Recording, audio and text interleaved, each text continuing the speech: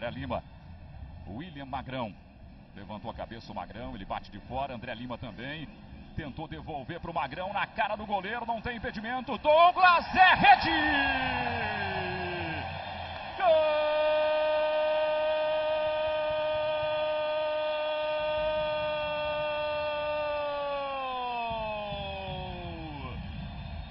Do Grêmio!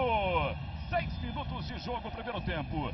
Troca de passes do Grêmio na área do Caxias. William Magrão vai no fundo, dá uma olhada para a área. E aí temos o Douglas, sozinho, só escorou e colocou na rede. Douglas marca o primeiro gol dele no Campeonato Gaúcho.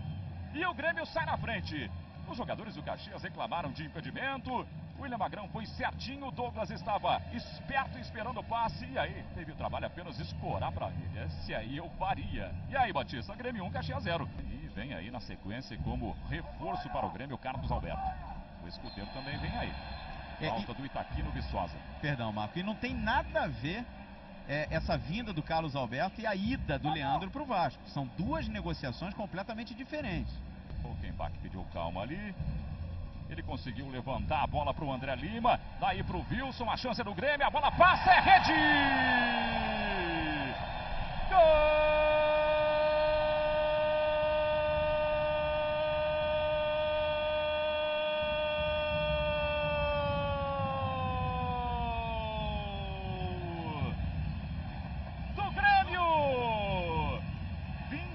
24 minutos de jogo, primeiro tempo, outra linha de passe. Foi inteligente o André Lima. Wilson apareceu na marca do pênalti. O trabalho de dominar, desviar e colocar na rede. Você revê por outro ângulo o segundo gol do Grêmio. O Grêmio abre 2 a 0 para cima do Caxias com muita tranquilidade. E o abraço dos zagueiros, né? Abraço, sorriso, festa. O Wilson marcou o primeiro gol dele no Campeonato Gaúcho e o Gauchão ali na arquibancada fez a sua festa também. Pedro espera o cruzamento. A bola vem por cima. Edson é rede! Gol!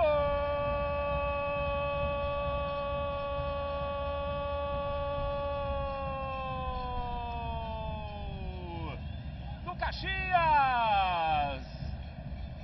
36 minutos, Edson Rocha no cruzamento, subiu muito alto, ele tem 1,88m, colocou a cabeça na bola, bola na rede do Vitor, e o Caxias desconta.